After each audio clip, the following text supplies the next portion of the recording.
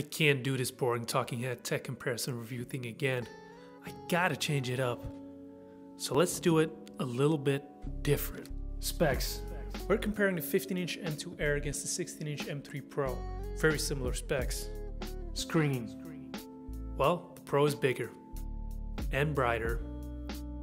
Not a big difference. 1 nothing for the Pro. Size and portability. Big difference. The air is so thin and light, looks great, and you just want to pick that thing up and start working. I like it. It feels like a chore to pick the Pro up and lug it around. Using it feels like work every time. I hate it. 1 1 tie. Battery. 18 hours on the air versus 22 hours on the Pro. Not much else to say here. 2 1 for the Pro. Price. You pay 50% more for the Pro here in Belgium. Insane. 2 2 tie. Performance.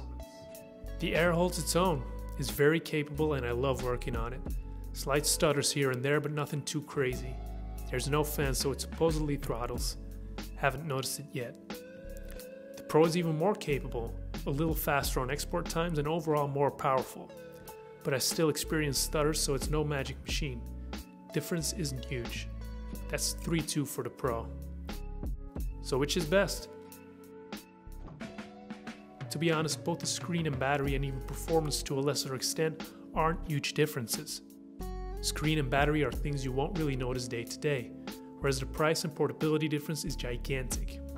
We are even comparing M2 to M3 here, which proves the difference is marginal, so don't fall for Apple's great marketing strategy. For me, it's the air. It makes me want to work and not be a lazy bum, which is nice. Boom! That's two minutes.